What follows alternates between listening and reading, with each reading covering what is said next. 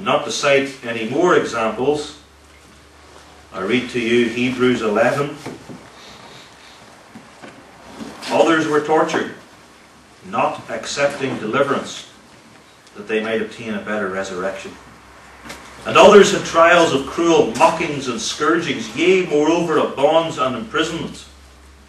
They were stoned, they were sawn asunder, that's particularly gruesome, were tempted, were slain with the sword, they wandered about in sheepskins and goatskins, being destitute, afflicted, tormented, of whom the world was not worthy.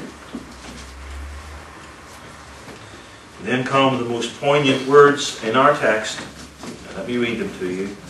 But last of all, he sent unto them his son, saying, They will reverence my son. When the husbandmen saw the son, they said among themselves, This is the heir. Come, let us kill him, and let us seize on his inheritance. And they caught him, cast him out of the vineyard, and slew him. In this parable, we have presented before us the murder of Jesus Christ by the Jews. It was the product of a conspiracy. They said among themselves, Come, let us kill him. But in those days in Jerusalem, and Jesus well knew it, the wicked religious leaders were plotting to have him put to death. And he says this in their hearing. The reason presented here for their murder of the Son of God was that they wanted to save their own leadership positions. And even better them. Let us seize on his inheritance. If we can kill the Christ, we will then have the government of the church to ourselves. And we won't have the Son of God coming and telling the truth and making us look bad. We'll possess it all in peace. We'll put him to death. Good idea. Then they excommunicated Christ. Because remember, they called him a false prophet and a blasphemer. Excommunicable offences. And they had him executed outside the walls of Jerusalem. They caught him, verse 39 says, and cast him out of the vineyard and slew him. And then Jesus asks the simple question When the Lord therefore of the vineyard cometh, what will he do to these husbandmen? What do you think? And his hearers have been so engrossed with the story and inflamed with anger that they say in indignation, Well, he's going to miserably destroy those wicked men. He's going to lease out his vineyard to other husbandmen, which, which will do their job properly and pay the man for, for the land which he has granted to them. And they were caught out of their own mouths.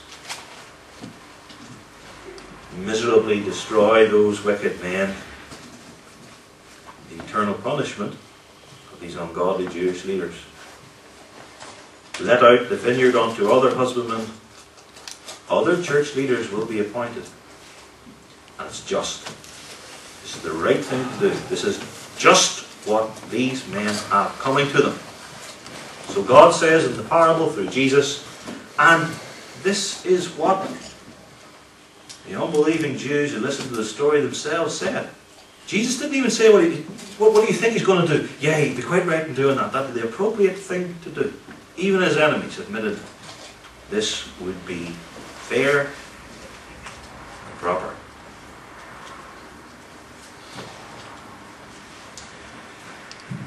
In the remaining verses, Christ interprets, expands, sharpens, and applies some of the points of the parable using a different image. He's not now talking about tenant farmers in a vineyard. It's a stone. It's a stone. Did you not ask? Did you never read in the scriptures? He asks. That's his question. Did ye never read in the scriptures? The Pharisees, you know, must have hated these questions that Jesus asked because he didn't ask simple, harmless questions merely for information when he dealt with these vipers. He asked questions deliberately, this is righteous on his behalf, deliberately to expose, refute, and condemn them. Did ye never read in the scriptures? And the warning lights will be flashing here. He's always asking us about these sort of things. What else did we read in the Bible? And he's saying thereby, your problem is you don't really read the Word. That is, you don't understand it. Have you never read? Maybe you should think about this particular text that applies to the situation now in hand. Did you never read in the Scriptures? The stone which the builders rejected, the same as made the head of the corner, this is the Lord's doing, and it is marvelous in our eyes. Did you never read that? Do you know what it means?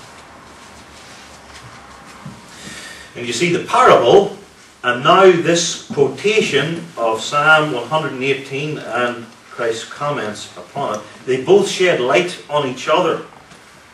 Who is the son slain by the tenant farmers? Who is the stone rejected by the builders? The same person, the Lord Christ. And see what Christ is saying to them? I know. I know that you're going to kill me. I know that you are already plotting to kill me. I know this. And I'm letting you know that I know. You know. This is what you're up to. Then the question is, well, if Jesus is the, the Son and the stone, who are the tenant farmers? And who are the builders? And it's the religious leaders, and they twigged that too. Again, I quote verse 45 When the chief priests and Pharisees heard his parables, they perceived that he spake of them. What's going to happen to the tenant farmers? He will miserably destroy those wicked men. And what's going to happen to the builders? Whosoever shall fall on this stone shall be broken, but on whomsoever it shall fall, it will grind him to powder. Verse 44. They're going to be pulverized. Sometimes people have the idea that the parables of Christ are nice, soft bedtime reading, as it were, pulverize the religious leaders who reject Christ. That's a strong word. What about that stone? What happens if here's the stone, the builders, who are the Pharisees, the religious leaders, they come, look at the stone, you can see them now, think that church building site not now with bricks, but made something more like Solomon's temple with huge stones. They look at this stone, they peer at it from side to side. Ah, it's no good, that stone. Doesn't fit. You couldn't build God's church with a stone like that, and so they reject it, put a little chalk mark on it, as it were, and say, that one's no good, cart that one away, dump it.